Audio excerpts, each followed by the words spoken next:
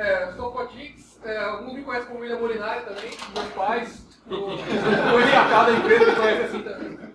É, então, eu vou falar sobre implementações paralelas. Esse, esse tema, na verdade, é muita coisa que eu passei aí nesse, no tempo que eu estou trabalhando, nas coisas que eu passei. Sempre surgia é, funcionalidades que precisavam traba ou trabalhar em paralelo, ou que precisavam testar implementações diferentes. Aí, qual foram os modos que eu segui para fazer isso?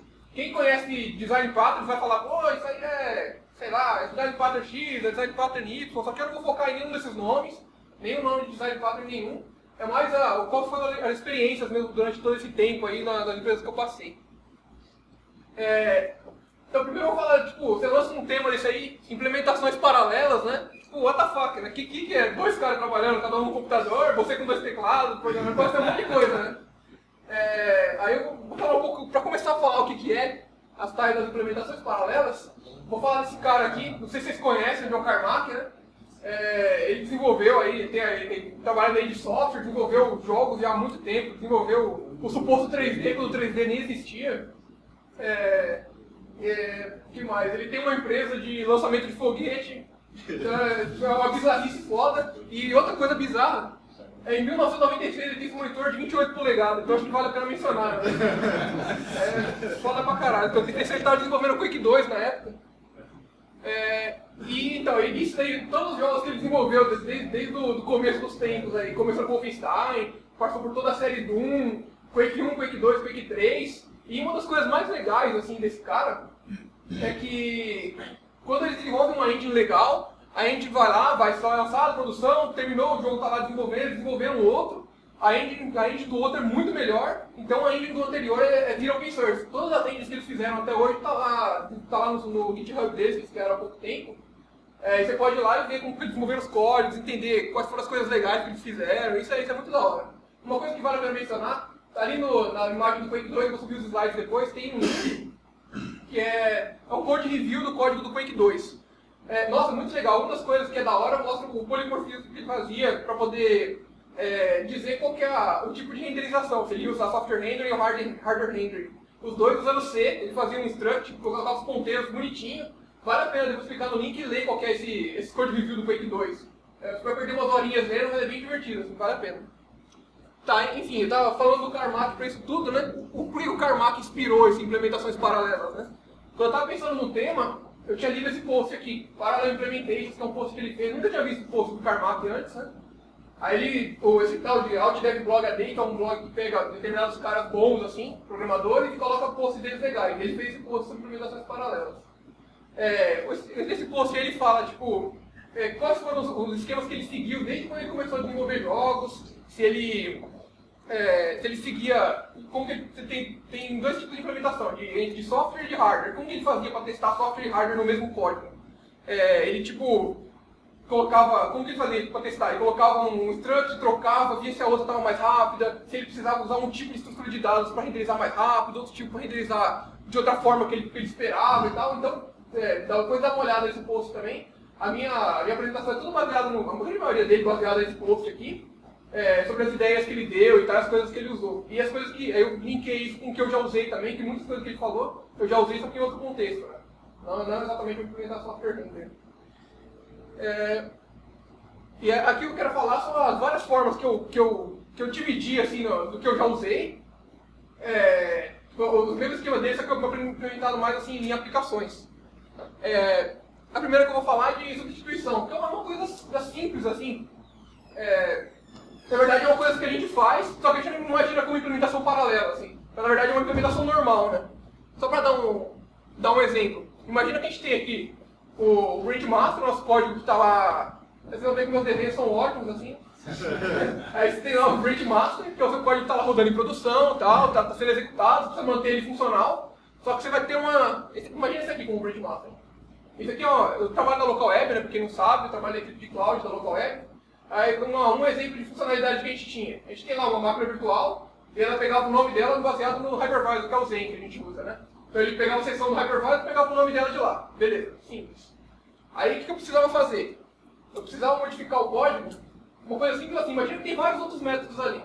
Eu precisava modificar o código para que agora toda, todo esse esquema que era de, de Zen agora pode ser, por exemplo, imagina que ele vai poder ser de outro, outro hypervisor agora, VMware, qualquer um dos virtualizadores agora. E, então, baseado na, na máquina virtual, vai descobrir qual que é o cara que ele está, de, de, que tipo de hypervisor que ele é e pegar o nome dele. Parece simples, né? Ah, faz um sed aí, troca hypervisor session por um hypervisor, resolveu, né? Só que na verdade tinha que extrair um monte de método, colocar esses métodos lá para essa lib porque não tava. Como ele nasceu assim desse jeito, nasceu, a aplicação nasceu Zen, então estava tudo dentro da aplicação, bonitinho. Então eu precisava extrair isso para uma gen e, e, modificar todo o código. Para isso eu tive que mexer em tipo 60% do código. Então que, qual foi a ideia? Né? A ideia inicial. Tinha lá o meu branch master e tinha um branch de feature. É, que é, normal, né? Você vai trabalhar lá, você tem, vou fazer uma feature gigante aqui. Vai lá, cria um branch, trabalha no seu branch lá uma semana e, e uma hora vai aparecer aquele branch ali, né? Que vai ser o merge desses dois caras, né? Aí o, o, problema de fazer assim, ou na verdade, é, não é um problema, mas é uma consequência de fazer isso daí, é que você vai ter aquele virar-chave, né? Que é. E aí galera, você está funcionando de um jeito, e agora você fez o seu código, ele vai funcionar de outro. E vamos virar a chave e colocar isso em produção. Só que aí esses dois códigos estavam. Um estava funcionando lá no seu branch, você testando, beleza, os caras desenvolvendo em outro lugar. Aí o Git faz lá os merge, te ajuda pra caramba com os merge, de boa. Só que não estava na integração contínua, você não pegou os bugs antes, que todo mundo desenvolvendo e tal. É, aí nesse momento de virar a chave vem aquela, aquela cara feliz. Né? Puta, e agora? Vamos colocar isso em produção, você vai descobrir os bugs em produção. Ou no seu ambiente de teste 10 anos, um monte de gente, vamos testar aí galera, pra ver como é que tá. É, é meio foda assim, né? É, mas, e aí, né? Dá pra evitar isso? E tudo depende da, da necessidade da parada, né? É, Nesse caso aqui, eu não sei se vale a pena evitar. Eu vou, vou, mostrar uns outros métodos que eu fiz em outros casos. Então, não sei se vale a pena mexer em 60% do código, extrair tudo e gerar, criar, fazer condicional e tal. Vou mostrar os outros modos, vocês vão entender. É, o segundo, vou falar um pouco de, de feature toggle. É, só para constar, isso aí foram, alguns desses nomes foram eu que, que inventei. Feature toggle existe alguém falando, mas os outros eu só dividi para ficar mais fácil de mostrar. É, feature eu dividi em duas partes a, a primeira parte do Feature Toggle é para adição de funcionalidade. Eu não conhecia muito esse nome Feature Toggle, quando eu fui procurar, eu achei esse post aqui, ó. É o post do, do Martin Fowler, falando com, sobre, sobre Feature Branch, é, por que, que, que, as coisas que falavam de Feature Branch, o que, que é bom, o que, que é ruim, e o que, que ele, o que que ele é, achava melhor o que achava pior. Só para explicar um pouco de Feature Branch, é, imagina a gente tem um Branch Master, e a gente, vai, a gente está trabalhando com Scrum. A gente começou lá, vamos lá, planejando, todo, todo mundo planejou, falou assim, a gente vai ter três histórias aí para entregar daqui duas semanas. A gente tem três desenvolvedores, aí cada um pega a sua história, vamos trabalhar em branch separado. Imagina que essa é a ideia. Então a gente tem lá os três, os três feature branches lá, todo mundo trabalhando isoladamente, assim, vai fazendo merge com, com, com master, por exemplo, para não, não deixar as features todas juntas, se tiver algum bug, bug fix. E fim da sprint, vamos gerar todo o merge desses caras. Todo esse merge vai lá e gera uma tag, por exemplo, e ele gera um release. Beleza. É bom, qual que é a vantagem disso, né? A gente tem, digamos que, por exemplo, o PO fala para você assim, ah, agora terminou a sprint, feature 1 e feature 2 não vão entrar. Você, beleza, vou lá, faço o merge do, da feature 3, do master, e lindo, né? As todas as features ficam para próxima sprint, ou ficam para quando elas puderem entrar. É, essa é uma das vantagens do, do feature branch, né? Só que aí, voltando lá, ele fala de um, de um esquema que você poderia manter a sua funcionalidade funcionando, da, funcionalidade no código, na integração contínua, todo mundo conhecendo os, os, bugs que vai ter durante o tempo para não estar aquele back todo junto, né? É, e você pode fazer uma, uma configuração ou algum esquema. Nesse caso aqui, eu acho meio bizarro, porque ele fala para colocar um, um código HTML dentro de um XML e lançar lá que aí, beleza, vai, vai mostrar na UI para o usuário que existe a funcionalidade ou não existe, né? Enfim, tem outros esquemas para fazer. Você pode deixar uma configuração que, que você pode fazer o toggle da feature. Falar assim, agora essa feature aqui entra em produção ou não. Aí, baseado na configuração, você vai e mostra. É, aí você pode, você pode, perguntar assim, né? Agora minha view vai encher de if, né? Porque eu preciso mostrar que se eu não quiser usar essa, essa bagaça XML aqui, é, eu vou encher minha view. E aí, configuração, feature X está on ou está off? E aí, tá on ou tá off? Tá on ou tá off? Ficou uma bosta, viu, né? Um dos esquemas que você pode fazer é esse rapaz aí. tá com essa foto bonita pra caramba. É, falando. É, você pode usar o esquema de presenters do Nando, né? É, aí ao invés de, de encher as. do Nando, cara. Você, você é um, Não é cara de mexicano, antes era de indiano. É, então, eu ia colocar um sombreiro, mas não deu tempo. Então, aí que pode usar o esquema de presente fundando. Em vez de encher sua view de if, por exemplo, você colocaria no seu presente, prepararia bonitinho e sua view ficava limpa de novo. Aí, daí, você poderia tratar de outra forma. Não precisava encher de if, você pode usar o esquema, uma e configuração, fazer uma classe extrair e gerar diferente. Né? Mas enfim, esse é um dos esquemas para adição de funcionalidade. Caramba, bastante função. É, e o outro esquema de feature toggle que eu vou falar é sobre para várias implementações. Um dos esquemas do, do Carmack que ele fala é que ele tinha duas implementações e essas duas ele ia poder ficar trocando. Então, por exemplo, ele está lá com software render e hardware render e ele falou assim, ó, vou, vou testar agora no mesmo código o hardware render. Lá, muda o ponteiro do cara e continua funcionando a implementação da, da outra coisa sem precisar mexer em todo o código. Né? É muito que você vê com, com Java, quer fazer uma interface lá e implementar de boa. Né? É, só não vou muito focar em Java. É, o, o Kung fez isso na, na local web quando a gente estava trabalhando, a gente implementou vários, várias filas. Na época a gente tinha ActiveMQ e, e precisava implementar, e ActiveMQ não estava funcionando muito bem pra gente com o Stone. Tava dando problemas, e algumas coisas desapareciam magicamente. É, a gente falou, não, vou implementar outro tipo de fila. Aí ele fez esse esquema, ele fez esse post, depois se quiser ler também, eu vou deixar os slides para pegar o post dele aí é, como que ele implementou, qual é a ideia de, de que ele fez para implementar cada um deles. E eu basicamente, vou falar basicamente qual é a ideia do, do que ele fez, assim. É, imagina essa aqui, essa aqui é a nossa classe de RESP. A gente tem uma classe de RESP simples, é, ele tem a, ele implementa determinado contrato, tem o nome da fila, um timeout do RESP, para falar se ele é exclusivo ou não, porque, por exemplo, a gente tinha, a gente conectava um firewall para poder lançar um, um tipo de arquivo. E aí, se, se os dois caras fizessem ao mesmo tempo, o arquivo ia ficar inconsistente e perdia a regra do, de falha do cara, por exemplo. E aí você exclusivo dizia sim ou não. É, e, e, publicar. Mas tem mais outros métodos, mas imagina só esses quatro aqui como um contrato. A gente também tinha o nosso do, do ActiveMQ, que faz o mesmo esquema, tem nome da fila, timeout, se ele é exclusivo ou não, e o, o esquema para publicar, e usando Stomp. E a gente também tinha implementado um, um baseado em XMPP. Então, usando o CPP for ar, ele ia lá, conversava, quando todo mundo conectava numa conversa, conversava e, via, e fazia fila via, via XMPP. E também implementando o mesmo contrato, né? Aí isso facilitava bastante, a gente podia ter essa, uma estrutura que nem essa daqui, ó. Uma pasta para consumers, cada consumer tinha lá sua estrutura de, de código, e a gente tinha uma constante só, que era a constante consumer que a gente usava no resto do código, que ela me dizia qual era a implementação dela. Então no começo era tipo o ActiveMQ Consumer, a gente passava, vamos usar XMPP agora, XMPP não tá bom, usa XMPP, passava, usava XMPP por um tempo, testava, tá, tá bom o XMPP, tá melhor? Vamos testar agora REST, que foi o REST que a gente está usando hoje. Mas foi lá que a gente fez, não, não tá legal o XMPP, vamos usar REST.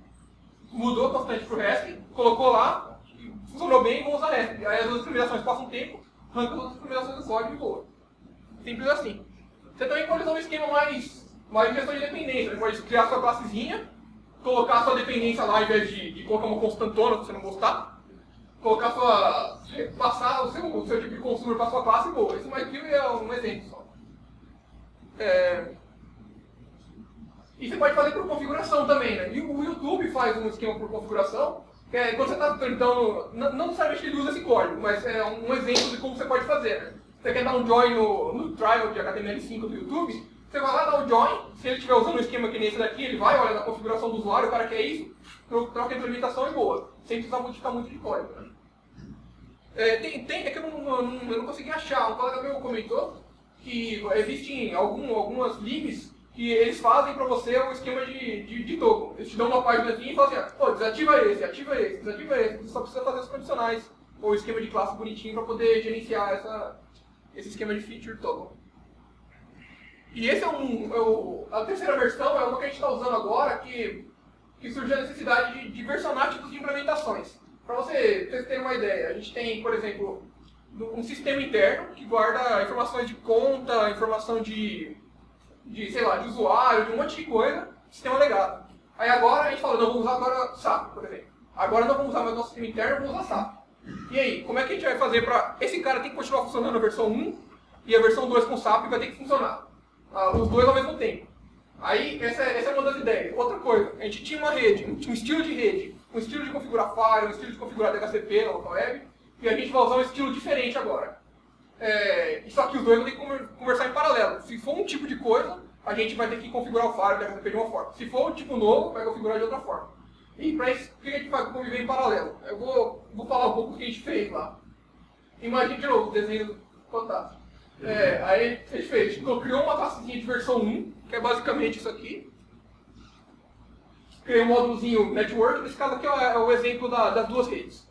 É, criei um módulozinho network, é, eu tenho, inseri o, a, uma, uma regra de file. O que, a gente fazia? Ia lá, conectava o SSH, via qualquer IP da regra de file, via qual é o file que a gente vai conectar, conectava via SSH, lançava a regra de file lá e via qualquer resposta. Retornou zero, a resposta bonitinha, então passou de boa, a gente vai lá atualizar a regra de file. Ou então, DHCP, e aí, DHCP, vai lá, gera um arquivo de DHCP pro cara, o DHCP funcionou bem, beleza, retornou zero, sim, então funciona. Esse é o de, network, de, de rede primeiro que a gente tinha. Aí o que a gente fez? Vamos criar a segunda versão da network. O que é a segunda versão? Mesmo esquema, implementando o mesmo contratinho, colocou insert filter root, só que agora a gente está usando o quanto do OpenStack. Para quem não conhece o OpenStack, é um esquema open source de cloud, bem famoso, por sinal. É, aí a gente está usando o quanto, que é o que gerencia a rede do OpenStack, então criamos uma chain para lidar com ele, ele é Python, a gente está contribuindo com esse Python também. Então, aí a gente cria uma chain para falar com esse cara, aí ele fala, me dá, um, dá um, uma instância desse plugin, e baseado nisso, lança uma regra de faro para mim. Aí lança a regra de faro numa fila de RabbitMQ, um, vai um consumer lá, pega, e, e lança no faro a regra bonitinha. Se precisa conectar com SSH. Aí, e o, agora para DHCP, a gente vai criar uma instância, mesma coisa, fala pro cara de DHCP, ele vai lá, lança na fila e tal. Uma implementação completamente diferente, sem SSH, e um convívio em paralelo. E como é que a gente fez? No, no, fim das contas, você vai ter que ter um cara para decidir. E aí, qual que eu vou? Eu vou na versão 1 ou vou na versão 2? E a gente faz isso baseado no, num objeto. Né? Um objeto diz, no nosso caso é o que gerencia o Hypervisor. É, um objeto diz para qual que tem que ver, a gente vê qualquer versão. Esse cara aí tem a versão 1.0, a gente vai para a versão 1.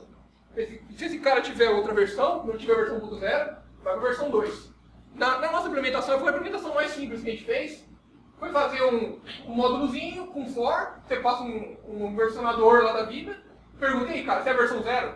Você é a versão 2? Então instancia a versão 2. Você é a versão 1? Então se não é a versão 2, qualquer outra a gente ia. a versão 1 era que já estava em produção. Então a gente só extraiu ela, tudo que não for novo vai ser a, como já funcionava em produção. É a versão 2. É a versão 1, melhor. Aí isso aqui, isso aqui podia ser feito de uma forma diferente, né? Se for, você pode colocar lá no. É eu não quis colocar código no banco, mas você pode colocar sua constante no banco, constantizar ela, dar um new e boa. Aí eu fazer daquela outra forma. Mas isso aqui seria uma outra forma de fazer também. É, aí a chamada fica isso daqui. A gente tem lá no nosso código, todas as partes que a gente extraiu viram simplesmente essa constante aqui. Network Manager for, no caso é um pool, né, que é o cara do, do Zen, tem diferentes para extrair isso. Aí Network Manager for, o objeto que você quer versionar, e, e coloca o filter firewall para esse cara. Coloca um, uma regra de fato para a máquina virtual. É simples assim. Então todo o código que estava lá jogado, extraiu com um módulo bonitinho, fez o contratinho dos dois e chama só esse cara aqui. Então, agora, resumindo tudo isso que eu falei aqui.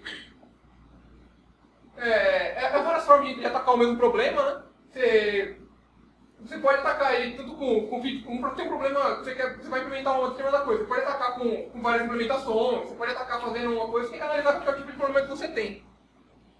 É, e é meio bizarro falar isso, né? Nunca tem silver bullet pra nada, né? Só que é, é, é, eu só queria colocar porque não adianta você falar, pô, legal, o cara implementando, ó que da hora, juntou, fez duas classes, fez um contrato, o meu problema. E às vezes nem resolve, né? Talvez o seu problema seja, seja mais fácil, você vai modificar três métodos, seja mais fácil você criar o seu branch lá, fazer o merge com os caras e, pô, vai embora, não fica criando overhead de extrair classe, extrair um monte de coisa e talvez não valha a pena, né?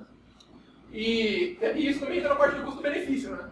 Por exemplo, será que vale a pena, para o que você está fazendo, extrair? Será que vale a pena manter uma feature separada? Ou você simplesmente colocar? Tudo vai, vai muito da sua necessidade, né? Se, se você acha que, que isso vai te trazer algum benefício, extrair e manter as duas funcionalidades, você testar uma e testar outra, ou por deploy em produção não ser tão, tão foda, tipo, lança de uma vez em produção e você não, não conhece todos os bugs e tal, você pode fazer o chaveamento. Aí cabe muito você analisar o que, que você tem e o que, que você quer no fim das contas, né? Aí você usa cada um dos métodos que está aí. E é isso aí, galera. É um, era para ser uma palestra curta mesmo, só para mostrar o que eu já passei, o que, que foi bom, o que, que foi ruim. É, no fim das contas, eu resumi um curto feature branch, eu preferi usar outras, outras paradas assim, feature branch mais quando é funcionalidades pequenas, às vezes que eu usei grande não não foi tão bom assim. Eu queria saber, assim, perguntas aí. Não fala que isso existe design pattern, que eu já sei. É, eu achei que você ia citar, mas várias coisas que você falou aí tá no livro Continuous Delivery, né? Então são, são técnicas que o livro até fala, por exemplo, aquele esquema de versão versão 2 que você falou, própria feature toggle. Porque imagina que isso aí é uma coisa que. Imagina a Facebook, que está entregando várias vezes por dia. E ele quer, de repente, lançar uma funcionalidade de, é, de timeline. Só que ele não sabe ainda qual vai ser o comportamento, se todo mundo começar a usar, e aí vai é, meio que é, é, fica feio, né? os usuários vão usar lá um negócio que não funciona. Então, acaba aqui queimando um pouco a imagem deles. Só que eles querem lançar, de repente, para um determinado tipo de pessoas, que no, no livro chama os canary, canary releases, né? São os primeiros que vão testar aquela funcionalidade e ver se realmente está funcionando. Então ele liga aquela chavinha só para um determinado tipo, é, uma determinadas pessoas vão lá, testam e aí depois ele libera aquilo para uso, uso geral é, na internet. Então é meio que essa chavinha e o Google também tem É, várias falar. aplicações que tem lá tipo um botãozinho que você liga e desliga. É, exatamente. Um, um, um caso legal que quando eu palestrei, o Clayton me falou, o, o Google, quando ele, antes de lançar o chat do, do, do Gtalk, ele, ele tinha o chat já implementado, só que não estava disponível para ninguém. Então eles colocavam tipo um gifzinho pequenininho, cada vez que alguém entrava no Gmail, o gif chamava lá e eles já estavam testando performance disso, tipo com o chat lá meio que funcionando, só que sem ninguém usar. Ou sem ninguém usar, só que usando sem saber, sabe? É, isso é um, esquema meio que feature toggle também. Ninguém sabe que está usando, mas tem uma, uma featurezinha que, que vai só dar um, dar um totozinho lá e ver se como é que, como é que vai funcionar a carga disso tudo. Mas sim, realmente. Tem um, tem um outro no livro Web Operations, do Eric Ries, é, ele falou que, tipo assim, ele usava muito uma, essa ideia de fazer teste AB. Então ele pegava e jogava as duas features, já o sistema dele, assim, é lógico que isso é um processo bem maduro na parte dele, do, do- que eles trabalhavam lá. Mas ele tinha o, um sistema que monitorava as duas versões rodando simultaneamente e fazia teste AB com convers, conversão direta. Então o sistema dele era maduro o suficiente a dar rollback de commit, no, fazer rollback de versão no, na, na versão que eu olha, só que essa, essa feature está diminuindo meu, meu, sei lá, minha métrica B lá que ele tinha, e aí depois ele já faz o rollback sozinho via, Ah, via legal. esses features Você uma inteligência em cima disso daí. né? É, aliás, o, esse livro, ele fala, a maioria das coisas que ele fala é sobre isso. Métrica, tanto que depois ele lançou a parte de Lean, Startup lá, né? Não que ele lançou, mas ele lançou um livro lá que fala basicamente sobre isso.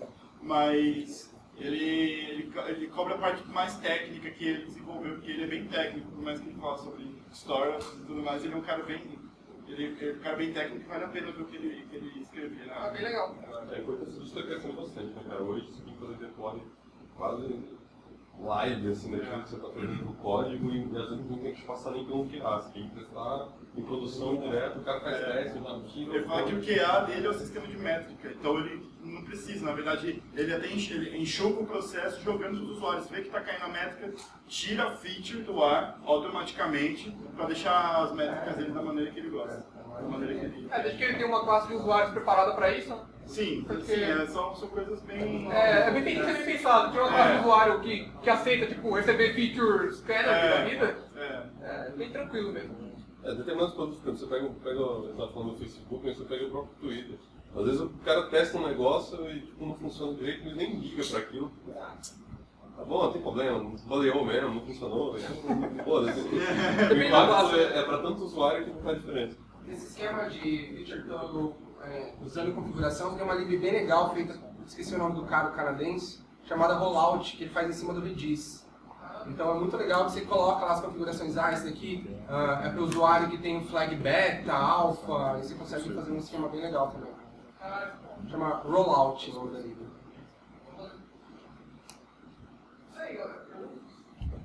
Só foram adendos, né? Só for... é, muito bom. Coloca o nome das galera na palestra aí também. Queria botar aquele mexicano você.